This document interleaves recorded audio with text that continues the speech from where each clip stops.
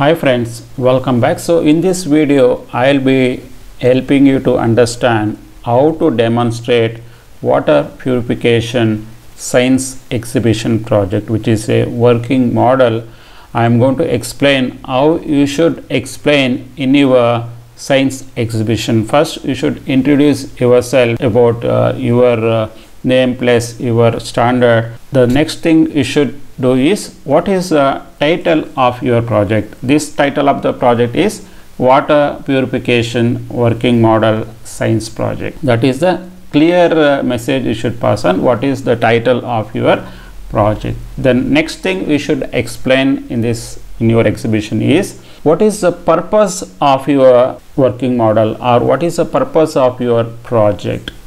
That is the key here. You should uh, explain very crisp and clear what is the purpose of this water purification working model? The purpose of this water purification working model is by using sand gravel coal cotton by using these four materials you can easily demonstrate or effective of purifying the water. That is the main purpose of this water purification working model. So in this project you should uh, first uh, take the bottle which is uh, the bottle which we cut into half and we should first place the cotton or tissue paper first inside this bottle.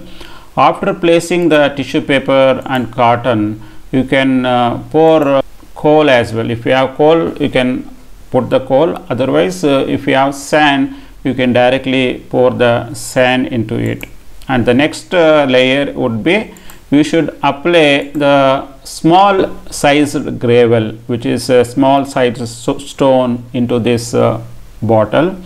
And the next step is where you should put a big uh, sized gravel. Once we put uh, the big sized gravel then you can place this bottle into the on top of the another uh, container where uh, it is going to store your purified water.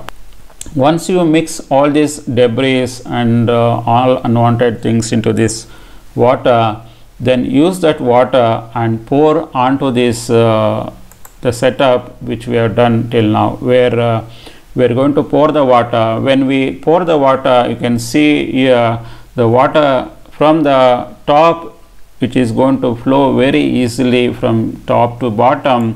When uh, water reaches the storage container we can easily see water is getting uh, purified uh, when it is passes through these four layers of uh, water purifier. Now we understood uh, what is the different uh, path if we follow our water is getting purified in a very simple manner